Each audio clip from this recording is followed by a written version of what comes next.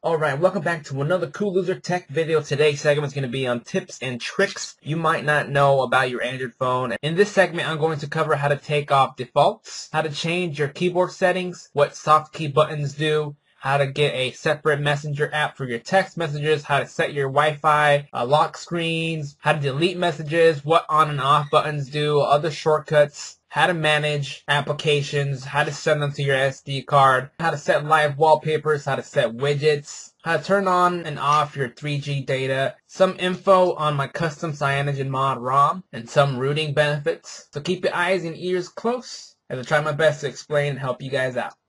And before I get on that, this is a live wallpaper called SolarWinds Live Wallpaper. And this is the HTC Google Nexus 1, the actual first Nexus 1 phone that came out for Google. So it's pure Google on it. And I've customized a lot on it. So you have docks down there that I can bring down and pull up. That is a ADW EX launcher that I have that with. So if you like that kind of thing, you can even scroll through the other side and the icons that you see, this is a theme for CyanogenMod 7, so you have to be rooted with a custom ROM to get that. So that's basically the interface up here. And a lot of people ask me, how come I have colored, how come it's not white or gray, or why is it different colors is because CyanogenMod allows me to change my icons on here. So that's a lot of benefits of rooting. And a lot of people ask me, hey, help me to root my phone. I actually can't help you root your phone because every other phone make and model has different methods of rooting your phone. And I don't want to be liable on you breaking your phone because rooting does void your warranty, but it's not a bad thing. Rooting is reversible. I just don't know all the methods for every phone out there. And a lot of people ask me questions that they can actually find out on their own. I know they want my help, but you could also Google things instead of waiting for my response. So obviously I'm doing something great for the Android community and I'm happy to be here and help every one of you. Defaults. I get a lot of people saying, how do you take off the default of something that you've installed because you can't get to it. Where you want to go is go into your settings. I'm using SwipePad. Check it out. SwipePad to go into any of my custom set applications. And you can see there I have 12. SwipePad allows me to be in any application no matter what I'm doing. I can open up this thing. It's great. Get on the market. So let's go to settings. I have a shortcut. And now I want to go into applications. Inside application settings, you will see this setup that I have. It might be different than yours. You want to go into manage applications and you can see here, this is your downloaded area and here are all your applications, what's on your SD card, and what's running right now. We want to go to all. Since I'm rooted, I'm capable of deleting system apps, so I deleted them and I don't actually have stock launcher that comes with this, but if I wanted to, let's say that ADW launcher was my stock, I'm going to click on it, you want to go all the way where you see clear defaults. This is a set default that I put. That is how I got defaulted. So you want to clear default. And once you do that, you press home again, you'll get the pop-ups again of the other home launchers. Before uh, you guys go on clicking a whole bunch of different things here, you want to make sure you don't click on clear data. Everything will erase and I'll be starting like brand new like I just installed the applications. If you want to move this application to SD card, you can. Not all applications can send to the SD card. I think only 2.2 and up devices can do that. You can uninstall the applications from here or force stop the application as well. Now, I want to remind you guys about the soft keys down here. These all can be set to do different things. With my Cyanogen mods, I'm allowed to set different actions for these buttons down here. Now, all of us Android devices can use this as a stock feature. As you hold down on home, you will see your recent applications and you can go right to them. And you can hold down on your menu button and you will see that you can pop up a keyboard. Now, I think that is pretty much on every Android phone and you can press a button and it comes up with anything that has to do with a letter G on it. If I have this application right here open, which is called Ultimate Faves Pro, where I show all my applications, Cyanogen allows me to hold this down and end the application by force closing by holding down on the back button. Now stock Android phones do not do that. This is a rooted feature. And since I said that you can hold down the menu and bring up your keyboard, which the keyboard I will tell you in a little bit, you guys can press the search button and it'll do the same thing what this does. So what I did is changed the function of this. And the function that I set up for this is to bring up my text messages. So it's a dedicated key for my text messages. Click on that and it goes right to my text messages. Keyboards. Let's go to settings. And I want to go down to where it says language and keyboard. Once I'm in language keyboard, you will see I have SwiftKey X. This is a paid application. This is my personal favorite keyboard that I love for my Nexus One because it predicts your next word. It saves your sentences. So whatever you've said before, if you want to say it again, all you got to do is keep clicking the same button and it already predicts it for you. It's awesome. Let's say I just downloaded the application and this was my stock keyboard. But let's do SwiftKey X. Click on it. It'll say, oh, it has this and this and that. So you're okay. You're okay. So now it's there. Now what? Is it ready? Not really. Let's go into my Google Plus. I'm going to do a stream and I want to type in something.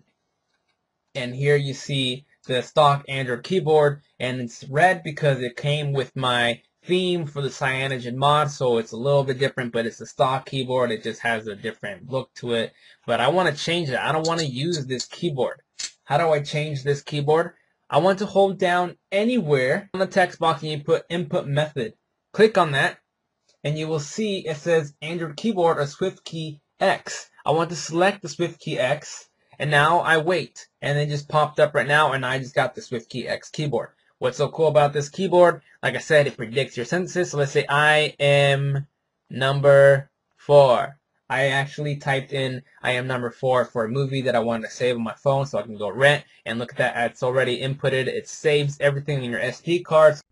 How do you set wallpapers and widgets?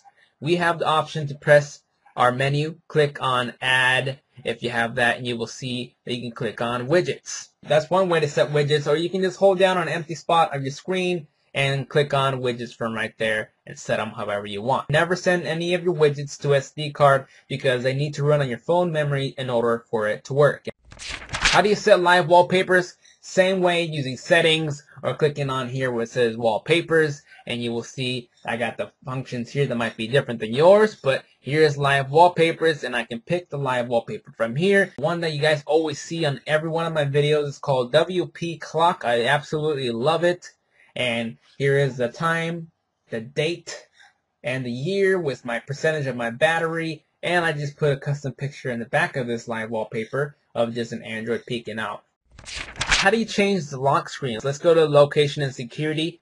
Okay, you will see setup screen lock. Here you will have a none, which means just a normal slide to unlock your screen. Or if you want to set a pattern, click on pattern. It'll tell you what you need to do, how to set it up, and you will make a configure of a pattern that you want. You want. Here's an example of how to do it. Let's go next.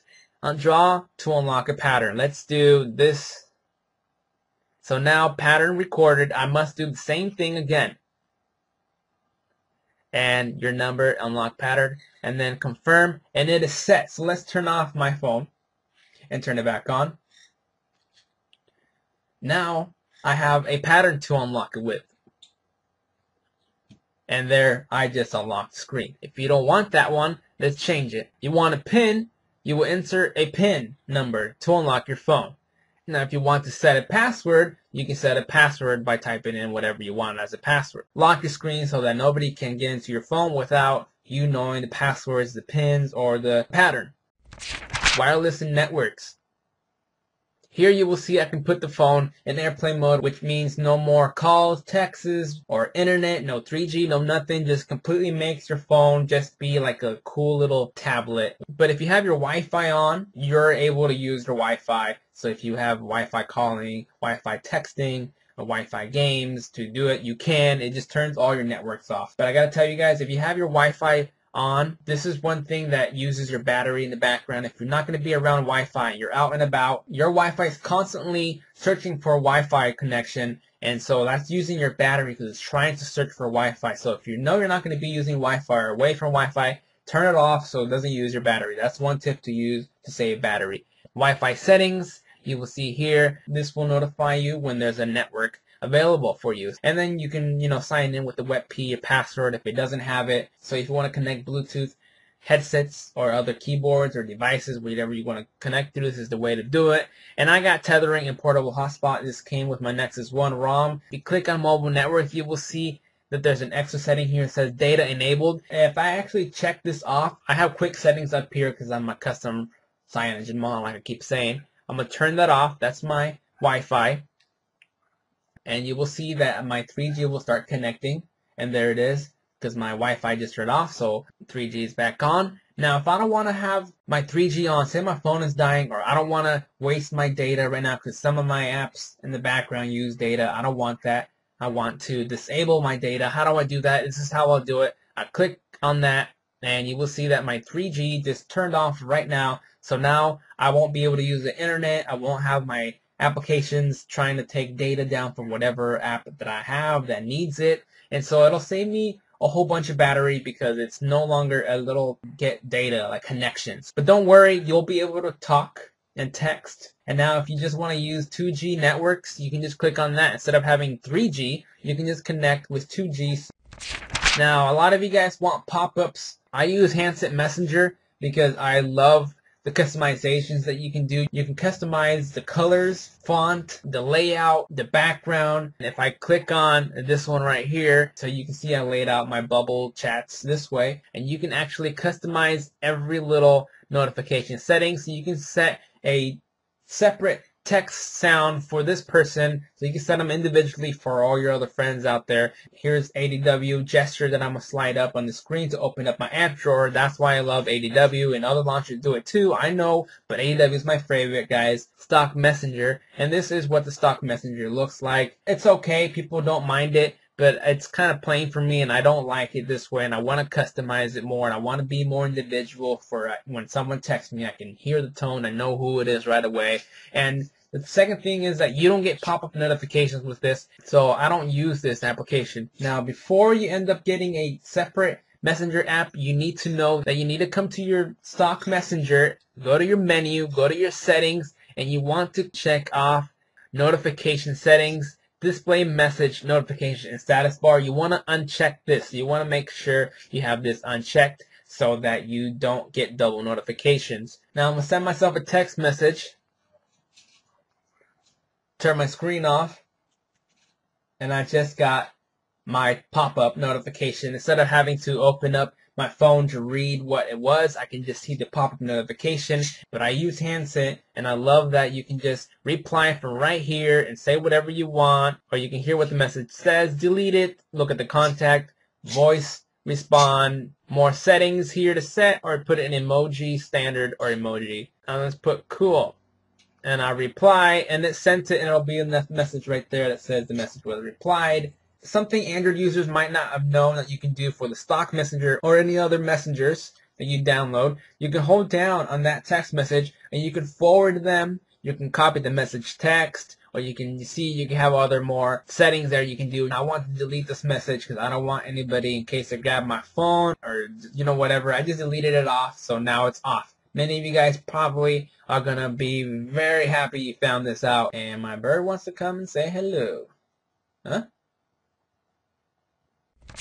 You got to remember that some applications store a whole bunch of stuff on your SD card. And, and how do you manage your SD card? You want to get any file manager that you can get to. It don't really matter which one. Just use when I come with File Manager. File Manager allows me to see everything that's on my SD card. Now, before you start moving things around or deleting stuff, I need you guys to know that now you can delete some of your saved data from applications that you installed or you need. So you got to make sure you don't delete stuff that you don't know what's about. I wanted to click down on there and I press delete and I'll press delete it and yes I was sure and now it's off the SD card and it's a great way to delete the bloatware that the application left behind or still has. Any other files that you want to manage through your SD card, you can go through here. And file managers aren't really stock on Android, so you have to kind of download that separately.